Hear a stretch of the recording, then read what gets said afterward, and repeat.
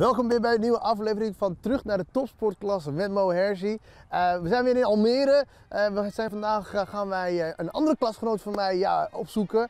Paul Kwasten, voetballer natuurlijk, RKC, Willem II, noem maar op. Hij zit binnen te wachten.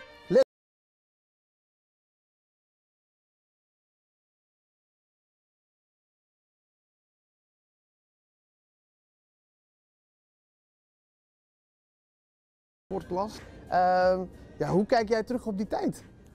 Ja, het was, uh, was een hele leuke tijd, denk ik. Uh, het was denk ik een van de eerste topsportklassen in Nederland.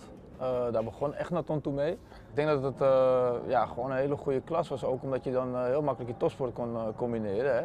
Want je ging toch wel vroeg naar Ajax toe om te trainen. Dan kom je opeens in de klas te zitten met allerlei andere topsporters, maar dan van allerlei verschillende niveaus en ook andere sporten. Ja, ja, ja klopt. Maar ja, we, we hadden wel natuurlijk allemaal de topsportmentaliteit. Dus wat dat betreft, uh, ja, dat, dat, voelde je wel. Je had gewoon wel een klik meteen met elkaar. Jij was een van de weinigen die uh, hoge cijfers haalde altijd. Ja, en wat je zegt, uh, sommigen die, die vonden de studie minder belangrijk. Maar voor mij was dat wel gewoon ook belangrijk dat ik mijn studie daarnaast gewoon ja, goed zou afronden. Mm -hmm. Dus vandaar dat ik wel uh, ja, af en toe hè, die concentratie moest ja. pakken. En uh, ook ik kan me moeilijk concentreren, dus uh, laat staan met al die ADHD-mensen om me heen. Je bent nu 36 en je contract wordt niet verlengd bij RKC.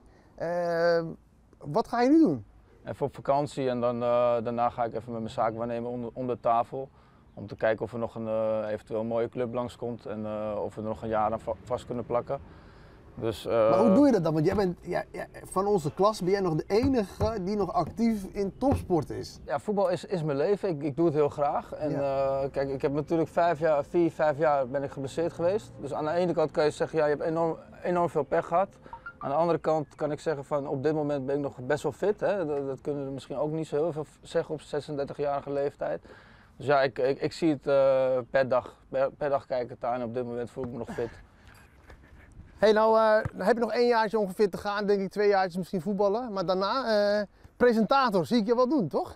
Ja, volgens mij ga jij ermee stoppen, toch hoor ik? Ja, ja. nee, dan mag je, ga, ga, je het overnemen? ga ik het overnemen van jou? Ja. Nee, maar een sportcommentator, ik zie jij dat wel doen. Uh, als jij dan commentaar geeft ja. op mijn dribbel. Ja, ja, ja. maar wacht, een commentator is anders dan een analist, hè? Ja, ja, ja. Oké. Okay. Nou.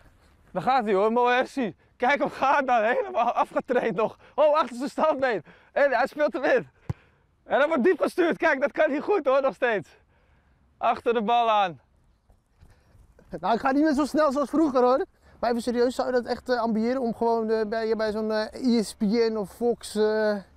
ja, ik denk dat daar wel, dat, dat zou ik wel leuk vinden, ja. Ja, analyse geven op een wedstrijd. Ja, ja, ja, het voetbal is toch veranderd in de loop der jaren. Dus ik heb het oude voetbal meegemaakt en het nieuwe, moderne voetbal.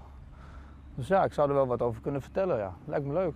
Ik wil eigenlijk over 25 jaar, wil ik eigenlijk nog een keer kijken hoe het met iedereen is. Waar we staan, waar we waar staan. je dan staat, ja. Ja, ja gaan we doen. Ja. Is een deal.